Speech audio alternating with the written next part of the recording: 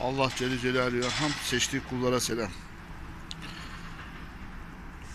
İlk çıktığım günden bugüne bir kişi de desin ki şurada yanlış yaptın. Şurada yanlış söyledin, şurada nakıs söyledin, eksik söyledin. Şurada tamamlanması lazım. Yani benim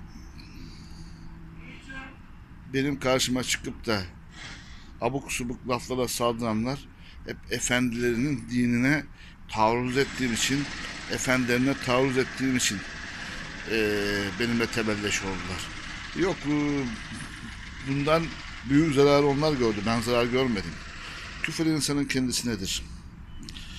Yani yani böyle hakaret ettiler, şöyle hakaret ettiler. Ne oldu yani? Onlara olan onlara oluyor. Çünkü karşılarında eee, yani mazur sayılacak bir durum yok. Karşılarındaki insanın eee, hani böyle eften püften bir insan olup da ilimsiz, irfansız, delilsiz çıksa bir derece.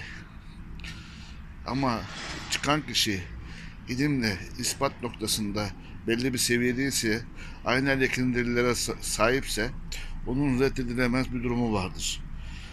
İlim ehli, arifler ve küf- arifler ve alimler bu manada e, iman iman küfür mesabesinde sorumlu diyoruz ama büyük bir ihtimalle küfür ehli olarak e, ölecekler. Yani ahiretlerinde, ahiret hayatlarında yaşantıları küfür üzere. Yani cehennem e, ehli olmak kaydıyla devam edecek. Büyük ihtimal. Yani durum hadislerin durumu, ayetlerin durumu onu göstermekte. Ve kurtulanların da az olması bu derece bu derece bu derece az olduğunu ben ummuyorum. Yani bu derece yani demek ki e, cehennem bayağı büyük. Yani öyle bir hafsalanın alacağı bir derecede değil yani. E, çünkü büyüklüğüne mütakip Allahu Teala'nın şeyi var, ayeti var. E, andolsun cehennemi dolduracağıma dair bir söz benden bir söz sadır olmuştur. E,